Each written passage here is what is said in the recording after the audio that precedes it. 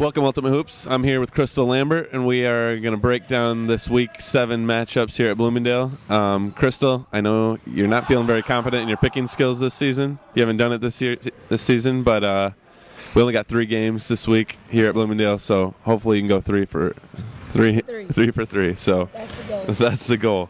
So first game we got Lake Show against That's What She Said. Lake Show lost last week. That's what she said. Uh, got a win against Team America. Actually, Lake Show lost heartbreaking fashion. But um, how do you feel about that one?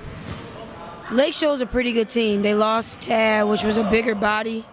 Um, he shoot well, but then they have a really good pickup with, with Delvon Moneyham. And Delvon plays on the inside really, really well, and he rebounds the ball. As far as that's what she said, that you have to think about. They have Brian Evans, and having Brian Evans and being in every stat line is is hard to to guard. But Lake Show is really good. They have Dan, they have Sean, they have people who can put the ball in the basket. It's a matter of who's coming to play. Well, what's really going to be the uh, turning point for Lake Show to win is for Chris to make his layups.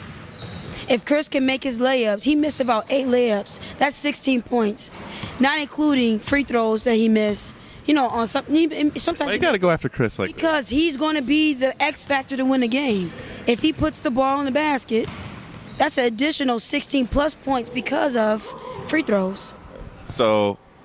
With that being said, do you think he's going to break the mold and it, they're going to win, or do you think that's what she said does? I think Sean is going to get in him and tell him he needs to get it together or he could be replaced.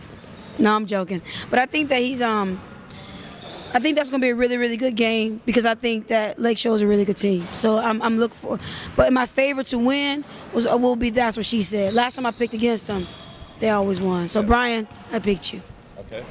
Next game, No Size versus Team America. Hmm? Um, Team America is pretty good, but uh, I'm going with no size. I'm, I'm going with no size because no size. That Derek, once he get fired up, he, you can't stop him from the three point line, and that, so I'm, I'm going with no size. If Rob can get, Rob is very inconsistent this year. I want to be. I think that he'll be um, all right. But again, I'm going for no size. And then we got Unlimited Edition against Hard Target. You got that one already? Unlimited edition. Hard target just don't have enough players that can put the ball in the basket. It's too inconsistent. How confident are you in those picks? Three for three, baby. For three. There it is. All right. See you later.